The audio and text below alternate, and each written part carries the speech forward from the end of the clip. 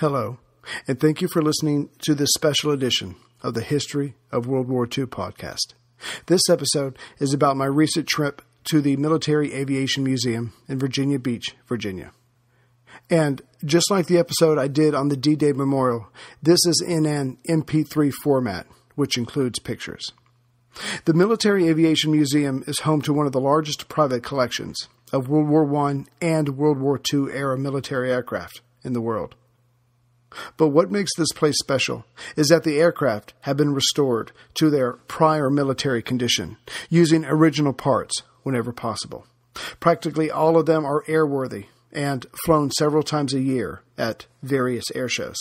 And most of the guides that work there are the actual pilots. Now that's loving your job. Now, unlike the D Day Memorial that I covered earlier, the Military Aviation Museum does not just tell one chronological story. In fact, that's what makes it so interesting. Each piece of it, or plane, has its own story, and I'll do my best to convey as many of the stories as I can remember.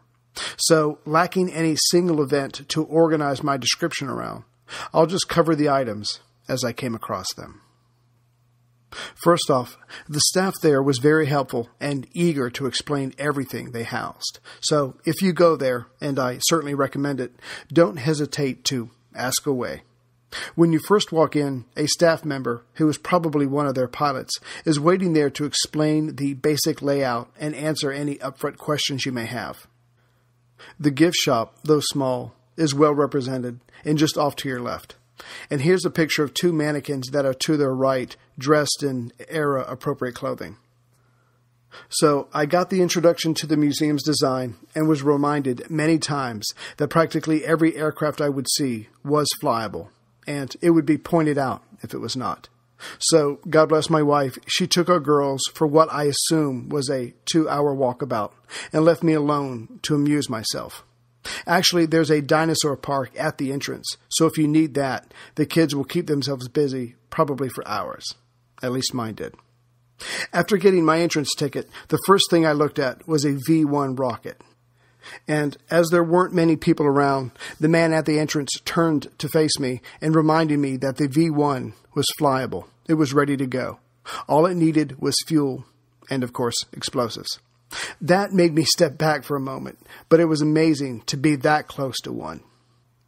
The Fieseler V 1 flying bomb's design was approved in 1942 and first launched at London in June of 1943. It was built at the secret facilities at the Peenemünde airfield on the Baltic Sea.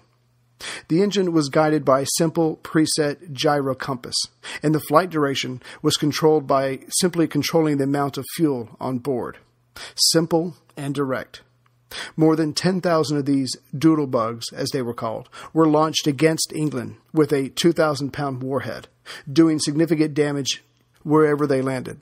Luckily, only about 25% of them actually hit their targets. Still, I'm sure the damage was amazing. This particular V1 was found in a tunnel after German unification in 1989. Again, it is fully functional, and it's the only one known to retain its radio homing device. Also, in that immediate area to the left, there were several engines, and I would honestly love to tell you that I know something about these, but I don't.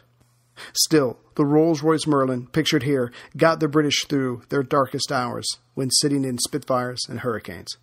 And the second one is a Pratt and Whitney used by the U.S. in their Corsairs, Hellcats, and Marauders. And I think they deserve a moment of their own, and here's a few pictures of what was in that area. Now, because of the type of person I am, when I entered the main room, I went to the left after glimpsing the V 1. But if I had gone to the right, in all glory is a replica of the Wright brothers aircraft.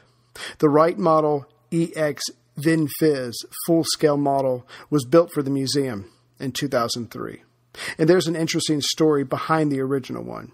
In October 1910, the newspaper magnate William Randolph Hearst organized a contest, the prize being $50,000 and you can imagine how much that was in 1910, um, to anyone who could fly across the United States in 30 days. So soon five planes were organized and they took off, but only one made it. Yet it didn't make it in the required 30 days. On a side note, Cal Rogers was one of the attempting pilots, and he was being sponsored by a company that had just introduced its new grape flavored soda. And it's been a popular drink ever since. The EX Vin Fiz had a maximum speed of 55 miles an hour. Straight back from the Wright Brothers replica is a red telephone box that you hopefully can still see on a lot of street corners in Britain. And of course, as an American, I find them extremely charming. So, posted inside was a sheet from the war period letting a person know how to contact various locations. So, hopefully, this picture turned out. Um, then, heading to the right far back corner, there were a few other items I couldn't wait to get to. First, we have a picture of a United States Army Jeep, and I was told that different units like to have different symbols on the sides um, representing them, and I guess someone decided that this awkward looking panda would be, good, would be a good representation. Next is a German motorcycle made by BMW, and it rode three, and it could uh, set a gun on top. Um, and again, there's some symbols on different sides. I think this one saw action in North Africa. Next is a British artillery piece. It's an Ordnance QF 25 pounder. Um, this again saw action in North Africa, and the piece beside it is its limber. It held the shells for the gun, and I think three shells could fit, fit in each slot here, so that was pretty cool. And they would be connected together with something that would pull them, and so the gun, the uh, limber, and whatever was pulling it would be called a train, and, and they would go in groups and were organized just like everything else in the military. Next is a Humber, um, which was a four wheel drive armored car, and they would use that either for uh, scouting or to deliver messages, that kind of thing. But it was an all purpose vehicle, and I think the British used them in the military um, up until the early 1950s. The next one was officially called a Carden Loyd Universal Carrier. Um, some people called them Scouts. Uh, they had a small gun on top with thin armor, and they could go out ahead and scout the area before the main body, you know, find, gather intelligence, go back and tell the main group. So they were used a lot to dash around because their armor was too thin to really protect themselves um, from any serious attack. And during all this, we were encouraged not to touch anything uh, because everything, just like the planes, were in working order. And as any mechanic can tell you, you were bound to get oil on your hands. Um, next was um, almost my favorite. It was a German staff car, and it was explained to me that this was mostly to run errands, take this map to this general, see what changes wanted to be made, bring it back. But basically, it was a courier from point A to point B. And again, this saw uh, action in uh, North Africa, and you can tell by the the paintings on the front and the back of that. So I should have pictures of both of those. And it was just really neat for me to see all these things that had actually been in North Africa, since that's literally where we are on the podcast. So it was very cool. Now, at this point, we're still in the main room from when you first walk in, but know that there are hangars on each side of the building. Um, but before I went into any of those, I decided to go straight upstairs because they had some more um, items to see. Now, waiting to say hello to you as you're about to start up the stairs is Rupert, the paradummy. Uh, sorry for the bad photo here, but the light was really working against me. For comparison, uh, the British paradummies were just burlap sacks, but the Americans, going all out, um, those were made up from molded rubber and painted to look as lifelike as possible. The one that you see here was used in the 1962 film The Longest Day, so that was kind of cool. The upstairs held various military instruments. Um, here you can see a U.S. Army field phone, a warning siren, um, field set telegraph, and my favorite, the walkie talkie. There was also uh, bombardier equipment like the Sperry gyro bomb sight, as well as various cameras, and these were neat to see. I hope the pictures came out well. Uh, you can see a gun camera, a reconnaissance camera, and a newsreel camera. But what shook me the most and you don't know what you're looking at until you read the sign above. There are four large poster boards, and all the poster boards have signatures of the men that fought in World War II and Korea. And I just stood there staring at the names and just tried to imagine what these men have seen and done, you know, when they were teens and they're in their 20s and 30s. It just must have been a, an incredible time, hopefully, you know, never to be repeated.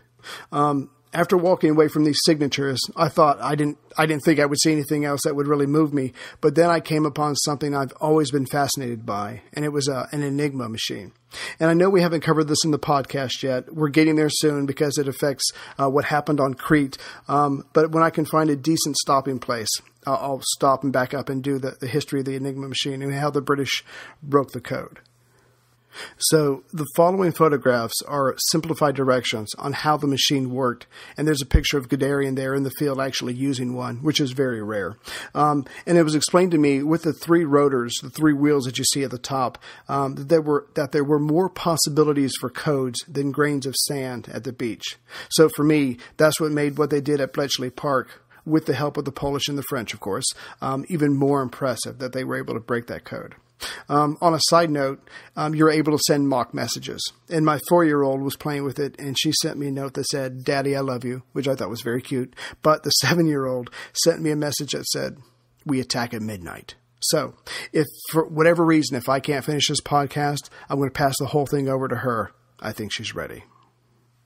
Now, just to the right of the Enigma is the director's office, which must be really nice to be in charge of that place. And on the glass wall that you see here, there are etchings of planes in the clouds. I'm not sure if it's going to turn out on the picture. I hope it does. But that would be amazing to work there, to be in charge of that, and to see that view every day. Uh, and here is a picture of a Messerschmitt sewing machine, that is, which made many of the German uniforms before and during the war. And the last thing to see upstairs, besides some very impressive paintings of aircraft from World War I and World War II, which were done by pilots, uh, is a series of uniforms from World War II. Uh, this picture here shows the dress uniform of the Army Air Corps. This particular uniform was worn by Captain Dunbar Hughes, who flew in the Pacific. He sank a Japanese ship and then volunteered for the European theater. He was then part of the 8th Air Force 4th Fighter Group and 335th Fighter Squadron. He was shot down in his P 51 over Germany on December 18, 1944, and he died in a German hospital on February 13, 1945, at the age of 23. Uh, as an example of how the U.S. had to play catch up when entering World War I and World War II, the tunic that you see here is British made.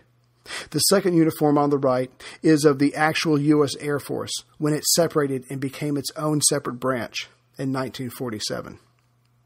This uniform is from the Japanese Army from World War II, included as a winter flight suit, flight boots, and helmet. And though it's probably hard to see, there are a few magazine pictures at the very top. The next is a few Luftwaffe uniforms. From left to right, the first is a Channel uniform when the uh, Battle of Britain was going on.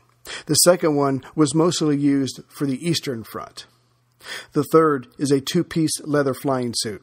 The flight jacket's fur collar was recently replaced, they wanted you to know. Then there's the accompanying leather flying pants, molded after horse riding pants. And if you look really closely, you can see around the throat the throat microphone and flying goggles. I hope that turned out. This one is a U.S. Navy full length winter flight suit. It's pretty straightforward, but I imagine it got the job done as much as possible in keeping the pilots warm. This one is a Russian service dress tunic and pants with a pilot's cap. The rank is one of colonel. And looking snazzy as ever, the uniform on the left is a British officer's service dress tunic. The pilot's wings are over the left pocket. There is also an officer's side cap and RAF wing and crown metal badges. To the right is a wartime officer's war service battle dress jacket and trousers. Again, the pilot's wings are over the left breast pocket. And hanging from the left pocket is an Acme Thunderer whistle. The belt is a 1937 pattern web belt with a 1943 holster and cartridge pouch. And you can also see a 1944 RAF life vest. And here is a pilot's uniform of the U.S. Army Air Corps. It's got a jacket and trousers, both made by Werber Sportswear Company. You can also see the flight boots and crusher cap. And at the bottom of the photo, you can see a Mark III aircraft IFF set used by the British and the Americans. And to keep it out of Axis hands, it had a small uh, TNT charge in it that could be used to destroy it if the plane was forced down. And lastly, for the uniforms, here's a pilot's uniform from the U.S. Army Air Force. You can see the popular, even today, leather jacket or A2 jacket that's also known as a bomber's jacket. Now, this one particular, someone from the pilot support group uh, painted some artwork on the back. I hope the picture comes out. And on the left hand side, you can see an electronically heated flying jacket and the tunic that belonged to U. Troy Bowers. Lieutenant Bowers served with the 394th Fighter Squadron of the 367 Fighter Group in the 9th Army Air Force in Europe. Bowers flew 68 combat missions from May 1944 to May 1945. At first, he flew the P 38, but then his group switched to the P 47 Thunderbolt. He had two confirmed air victories and numerous ground kills. Okay, let's move on to the planes, which is probably what you wanted in the first place. Now, when you first walk in, like I said earlier, there are hangars to either side of the main room. If you go to your right, it's the Army hangar, and if you go to the left, it's the Navy hangar. And separate from this main room, there are at least two more hangars a uh, World War I hangar, a World War II hangar, and then there's a hangar that uh, housed Jewish slave labor. We'll get to that in just a moment. Um, that building was brought over from Germany after the war. Unfortunately, I did not get to spend too much time in the Army hangar because we were about to go on the tour of these separate hangars. But that's okay because I got to see a Spitfire. I didn't notice it at first because the hangar is stuffed, and so you're pretty much standing in front of it right before you know what's going on. But then it dawned on me, and I just I just stood there for a couple of moments, um, you know, realizing what it was. I had done so much reading and watched so many videos and DVDs and YouTubes. It truly felt like I was just coming back to an old, long lost friend. I know that sounds totally corny, I'm sorry, but it's true. I just stood there and just and just gawked at it for a couple of minutes. I'm, I'm sure I looked very strange to everyone else and I could just picture it sitting on a grassy field, waiting for the alarm to go off for someone to jump in and just take off into the sky. It was just, it was just a, a truly wonderful moment. Now, there was a guide in the hangar, but uh, he was off with another group. I just kind of walked in by myself. But I did hear him encourage everyone strongly not to touch anything, uh, because in his words, if it could fly, it will leak, and you'll end up with oil all over yourself. Uh, and sure enough, there were mats underneath most of the planes, you know, catching drops of uh, black oil. But I couldn't help myself. This was a Spitfire. So when the man wasn't looking and he was very nice in answering all the questions, I ran my hands all over practically every inch of her that I could reach. Uh, there's no words. I just had to touch it. It was amazing. Except to say that um, I'm somehow going to break it to the wife that I either want my pilot license or I want someone to fly me one of these things. It has to happen. Okay, enough gushing. This particular Spitfire is a Vickers Supermarine Mark 1 XE. Uh, it has a Rolls-Royce Merlin engine, of course, and it's capable, which is capable of uh, 1,760 horsepower. So its max speed is 312 miles per hour, and it has a ceiling, uh, maximum ceiling of 43,000 feet. It has two 50 caliber machine guns and two 20 millimeter cannons. And just to let you know how good uh, the Spitfire was, um, it was used by more than 36 countries for several decades after the war. And this particular Spitfire served in North Africa, Italy, Corsica, Greece, and Yugoslavia. It then went on to serve in Italy and Israel after the war. Hey everyone, Ray here. We've all been there. Seemingly out of nowhere, you get hit by an unexpected bill, and your world just stops.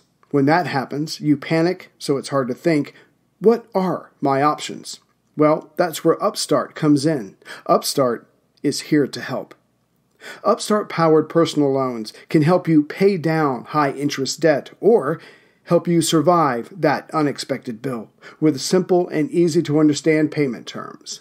And just know you are not alone. Upstart has helped over 1.8 million customers who are on their path to financial freedom with a fixed monthly payment with a clear payoff date.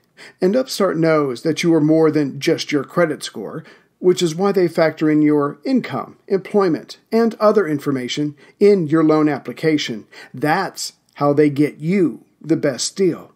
And you can check your rate in minutes for loans between $1,000 to $50,000.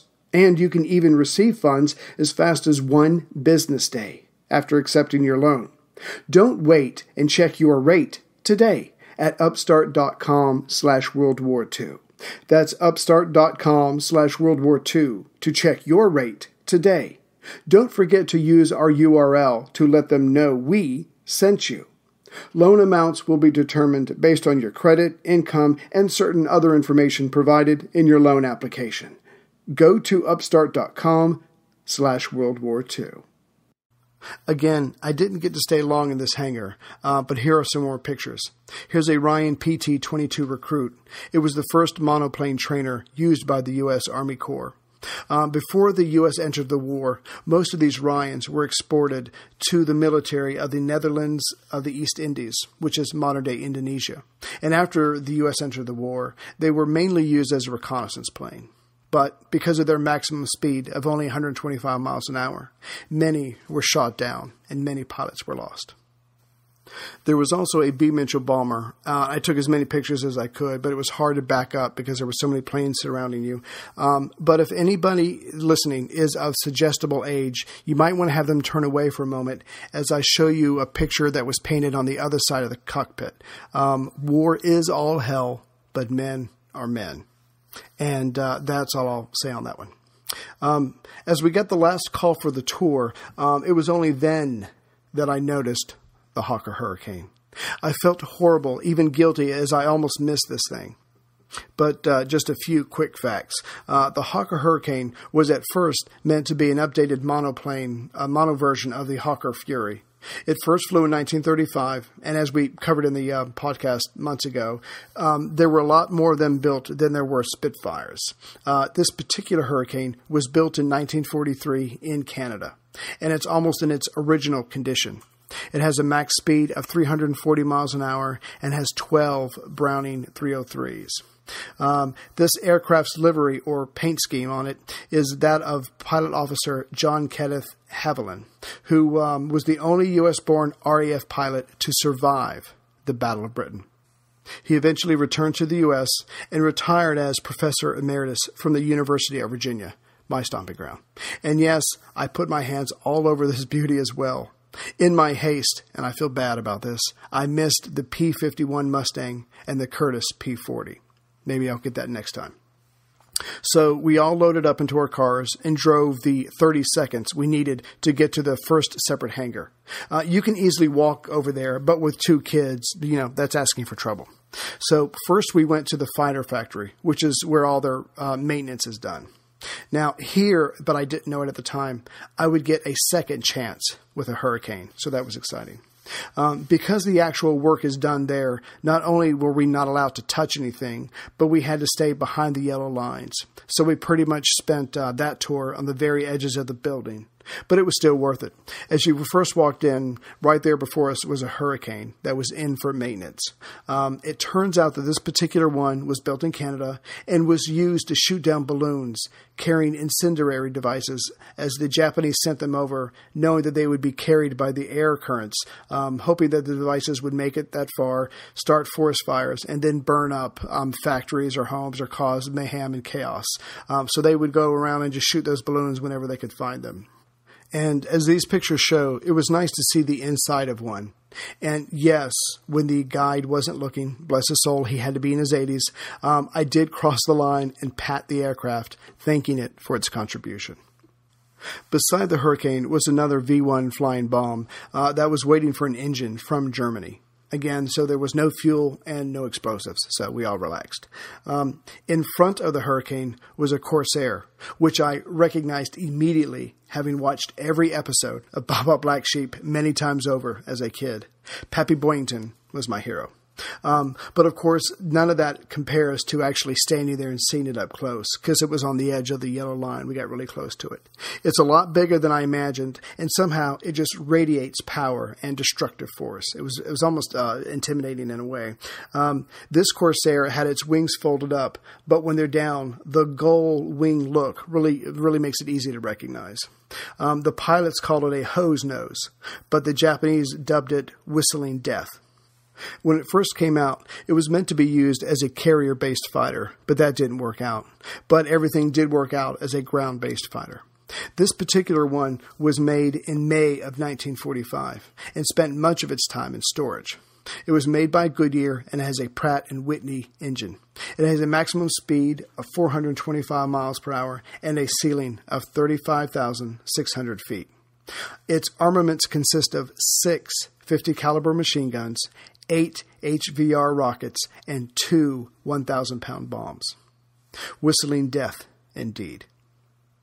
So then we left that hangar and then went to the Cottbus hangar. Now, this authentic German Luftwaffe hangar was relocated from the Cottbus Army Airfield in Cottbus, Germany, a small town southeast of Berlin. In 1933, the Cottbus Airfield was built along with a pilot flight school. Now, this particular hangar, Hangar 6, was built in 1934 by a German company that was founded by a World War I flying ace, Sachsenberg, with his Navy friend. They formed the company to help former military personnel make the transition to civilian life. That's fine. However, Sachsenberg lost control of the company in 1934 when he spoke out against the Nazi uprising in Germany, and it was discovered that he was of partial Jewish descent. The hangar was originally used to house aircraft for the flight school, but from 1941 to 44, it was used by the Focke-Wulf Company for storage and a base for test flights, while manufacturing the FW 200 Condor and FW 190 fighter plane. Now, I should preface this next part by saying I haven't been to the Holocaust Museum yet. Um, in some ways, I'm still trying to work up um, being able to handle all that. But we got a unexpectedly we got a taste of it uh, in this hangar that housed um, Jewish slave labor. Um, on May 29th, 1944, the hangar was severely damaged during an 8th Air Force attack. Makeshift repairs were made quickly, and um, it's believed that when those repairs were being made, that an individual um, who who was trapped in the hangar um, scratched on one of the beams um, that was supporting the uh, top left of the of the building, uh, and it's written in Polish, and it says, "Anusia Waclaw worked here, 10 14 1944."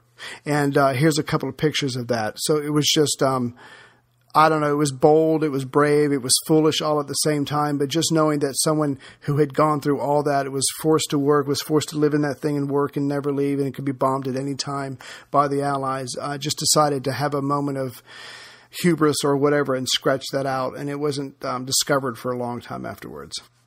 Um, moving on the guide explained to us that before the war, Germany, of course, was under a lot of restrictions as far as the types and numbers of uh, aircraft that they can have.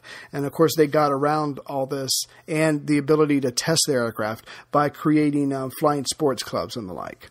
Um, so this particular hangar is full of German aircraft, and they're really all amazing. Um, I think I've got pictures of everything, so hopefully you'll see it in the next couple minutes. Um, but if there was one aircraft that dominated the room, it was probably the JU, the Junkers 52, uh, mainly of its size. So here's a couple pictures of that. Um, it was first flown in 1930, and its nickname was Iron Ann. Um, like most German aircraft, it was very reliable and durable. Uh, that is until the uh, enemy aircraft from the British and uh, later on in the Americans, their design got better and they got faster and they were easily able to keep up with this workhorse. Uh, this plane did do a lot for Germany. It served as a troop transport, uh, transporting cargo. It was a bomber. It was a paratroop plane. Uh, it was able to do a lot of things, but unfortunately, it had a maximum speed of 165 miles an hour. And so the, the British during the Battle of Britain were easily going to be able to keep up with it. Um, and after the Battle of Britain, easily able to keep up with it and uh, bring it down. Uh, after the war, Spain kept building them, uh, mainly due to it being such a solid aircraft. And for years afterward, uh, many less developed countries used them as their main aircraft. This one here is the only flyable one in North America, and I think there's only about seven total around the world that are still flyable, as far as that's that's known. Now, next, and I have to confess, um, being in a weird way obsessed with this gun since I first read the Arms of Krupp, uh, Germany's largest and best steelmaker and arms manufacturer. Uh, this gun is the uh, was first first came out in 1928. Um, it's the German 88 millimeter Flak 36. Um, they were built and designed and used to be anti-aircraft gun, but then uh, guns. But then someone decided, uh, like during the Spanish Civil War and later on, Rommel gets a lot of credit for this, to use it as an anti-tank weapon. And much to the horror of the British Commonwealth forces in North Africa, which we're about to read, he was able to mass them together and uh, just really do some serious damage to British ar- armor. It has a range of 9.2 miles, and when a shell initially leaves its barrel, it's moving 2,624 feet per second. That's amazing. It could pierce the thickest armor from a tank, even though it's two miles away. Uh, our guide then told us that one of his friends who participated in D Day uh, was coming ashore and he heard the distinctive sound of a German 88 and he knew he was in for a bad day. Uh, fortunately, he survived. Um, the 88 that you see here um, was on its way to North Africa when a British patrol chased it into Spanish waters. Um, so the British did not get it, but neither did Rommel. Uh, the Spanish kept all the guns they could get their hands on from the Germans, especially as the momentum of the war swung towards the Allies. Uh, here also is a picture of its controls for firing and a searchlight. And as you can see uh, on one of the barrels, it had uh, three markings on it to let you know it at least shot down three planes. Then you come upon the Fieseler FI 156. It was also called a Storch. Uh, it was mainly, mainly used as a liaison aircraft. It didn't need a lot of space to take off or land, and that made it very popular. Um, it only had a an engine that was capable of 240 horsepower, and so its top speed was only 109 miles an hour. But the guy told us it was this type of plane that Hitler used um, to have a uh, special, I think it was a commando squad, go into Italy and rescue uh, Mussolini after he'd been arrested. So it brought him uh, brought him back to Germany. And of course, we all know it was for nothing, but this is the kind of plane that was used to get him out of uh, Italy very quickly. Next is the Focke-Wulf FW 44J. It had several nicknames, but one of them was the Goldfinch. Now, this is a very solid flying plane. It was very popular before the war. It was very reliable, very dependable, and probably for that reason alone, um, every pilot in Germany who trained in the 1930s probably flew a version of this plane. And the one that you see here is the last version of the 44J. Now, the next plane that you're about to see is the Bu 133C Jungmeister, which had to be the pride of Germany during the 1936 Olympics in Berlin because it won a gold medal for aerobatics. And you're probably not surprised to hear that in 1936, this was the only time that aerobatics was an event. Um, so the Germans have been practicing their civilian airmanship for years, and they wanted to show it off, and they got a chance. Um, and because the plane's superb handling, future Luftwaffe pilots would use this for, as a combat training aircraft. And its uh, maximum speed was 150 miles an hour.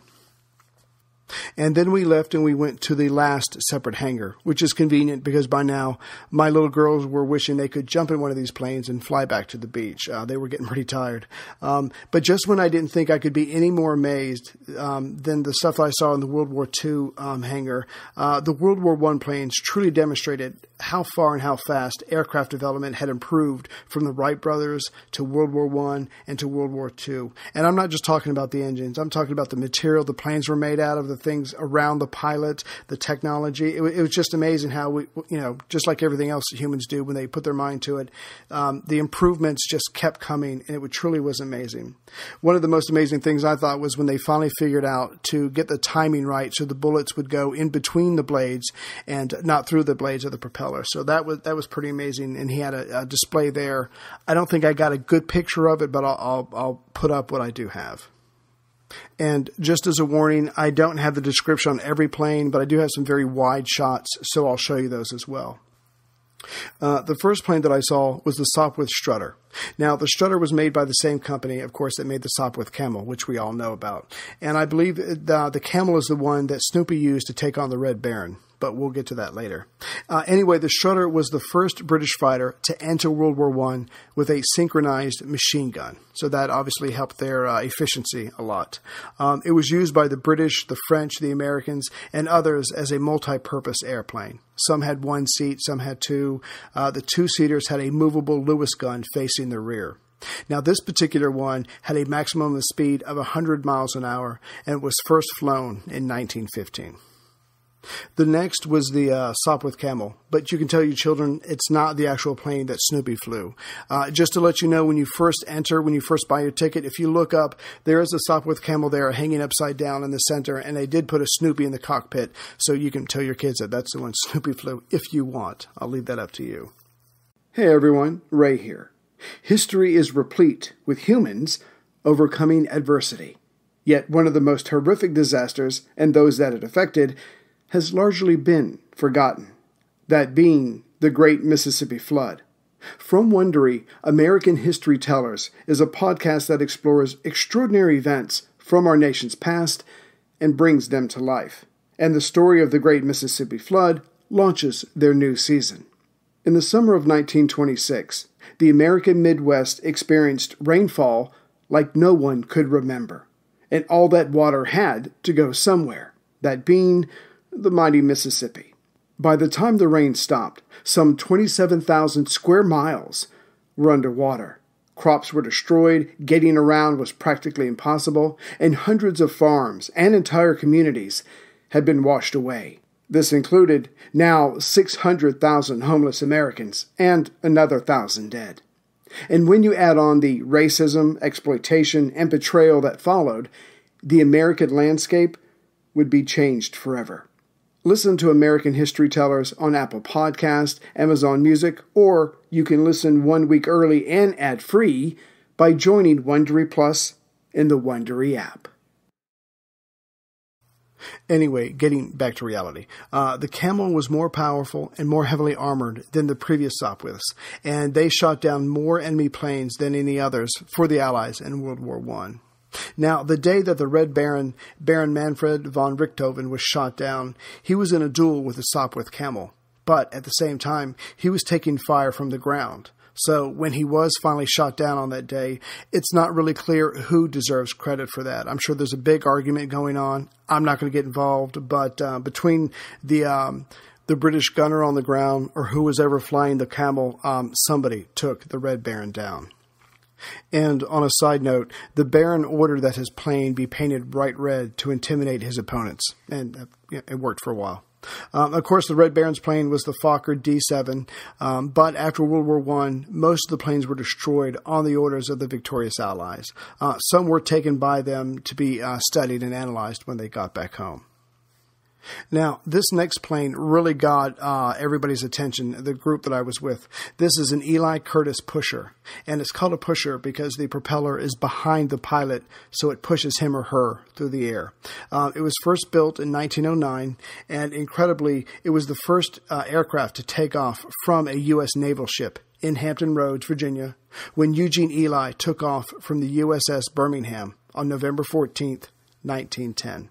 That's just amazing to me. Uh, the plane here is a slightly updated model because it came out in 1911. But of course, this is just a replica of that second version. And as you can imagine, this plane is the only flying replica in existence. But here's the amazing part. So the man, um, and I don't remember his name, uh, was asked by the Military Aviation Museum to build this. He lives in Ohio, so he built it and then he flew it here and landed in their in their own runway, which is in, incredible because you're looking at it. There's barely anything to it. In fact, some of the gauges that you see here were not on the uh, 1911 airplane. They had to be added on by the man in Ohio to accommodate FAA laws. So those men in 1911 were very brave or crazy or both. I don't know. So it truly was uh, an amazing time of pioneering. So here's just some water shots of what's in this hangar here. Um, but then I was able to talk my girls, or basically bribe them in going back to the main building so I could go to the Navy hangar, which I totally missed um, the first time around. Um, so I did get to see a PBY Catalina. Uh, and during the war, practically every branch of the U.S. Armed Forces used these, mostly as anti sub um, convoy escorts, cargo transports, and search and rescue planes. Um, and it's it lasted in its military duty until the 1980s, which tells you how much of a solid plane it is. But even today, it's still used in uh, aerial firefighting. So here's a picture of me and my girls uh, before they totally broke down.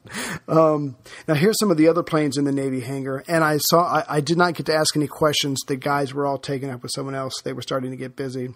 Still, this hangar, just like the other ones, was absolutely amazing. So that's the Military Aviation Museum in Virginia Beach, Virginia. It's definitely worth a visit, and the people there were incredibly friendly and knowledgeable. I will put all these pictures up on uh, Facebook for those of you who follow me on Facebook. Um, they have air shows every summer, as well as um, different period parties and celebrations. You can check in on their uh, on their website. Um, what can I say? It was an amazing time for me and my family until the girls broke down. Um, and I came this close. You might have almost seen me on the news for trying to jump into one of the cockpits, probably the Spitfire or the Hurricane, and have my own imaginary battle with um, with the Red Baron, just like Snoopy did. So I, I was just so tempted. So, uh, lastly, here are a few more photos just to fit in uh, that I think you'll really appreciate. Um, for you members out there, episode six is coming out soon, and this one is the first in a series of Dr. McIndoe and the Guinea Pig Club, um, the pilots who were burned over the Battle of Britain and after. So I'll get that out as just as soon as I can. Um, before, I thought this was interesting. I just learned this. Before 1939, most people who um, were burned died because of shock. But through uh, the 1930s, the doctors stumbled upon bit by bit, uh, incrementally, uh, different ways to keep a person who had burned um, alive for a little longer. They used to just die right away, but they with, with saline and some other thing, things they kept them alive longer and longer and longer. And so by the time mid 1940s come, these people are able to live through a burn. But what do you do with them now? So that's what we'll be exploring with Dr. McIndoe. So I'll get that out as soon as I can, and then a regular episode will come out where we get to the next part of Operation Compass, where General um, Richard O'Connor keeps pushing the Italians west. I'll get those out as soon as I possibly can. Um, sorry for the delay. I just took a couple days off with the family. So I will see everyone as soon as I can with that. Uh, take care, everyone. Oh, and one more thing. Um, I did find a, a, few Audible books that connected with this trip, and as I show you a couple more pictures from the trip, I'll just um, I'll just give these out to you. The first one is The Early History of the Airplane, written by Orville and Wilbur Wright. It's about their ex- uh, experience with their first flight in December of 1903, all the work that went into it, all the testing they had to do. They had to figure things out as they were going, and then they would test all these theories uh, hundreds of times over with gliders before they had their uh, 12 second flight, which was, of course, the first flight of a um, self propelled machine into the air carrying a man. So it was a pretty interesting story, and hopefully you'll find the whole story very exciting. It is, it is written and uh, presented to be entertaining and not just a bunch of facts and figures. The second book is called Spitfire Ace, and this uh, story really is a portrait of a few of the men who fought in the Battle of Britain. It talks about their experiences in the air and on the ground. And on the ground, it was all about organization and efficiency, which uh, loosened everything up that could then happen in the air. Because once you're in the air, it's all about teamwork, working with each other, communication, and of course, um, you working with your Spitfire and what it can do. And of course, a lot of courage. And there's also some interviews in there with some with a few of the pilots who fought and survived in the Battle of Britain. So I thought that was interesting. And the last one is called Finish 40 and Home the untold World War II story of B 24s in the Pacific. This is the story about the 11th Bombardment Group, um, and it has everything in there. It goes into the author's father, who lied in, about his age to get into the Army Air Corps. He was only 16 at the time. It goes into all their training, what they had to prepare for, and then it gets them into the Pacific and some of their missions and it really goes into detail how dangerous it was for these young men. I mean, they're flying over thousands of miles of water, no fighter protection, and there's nothing to confuse the uh, Japanese um, guns on the ground firing at them. So it was a very dangerous time. And as they got closer and closer to Japan, they start losing more and more of their men. In fact, um, between 1942 and 1943, um, one squadron loses roughly half of its men. Um, so it, it, they were getting closer to completing their mission, but at the same time, a lot more of them them were dying. Um, and of course, they were all focused on doing their 40 missions and then getting home.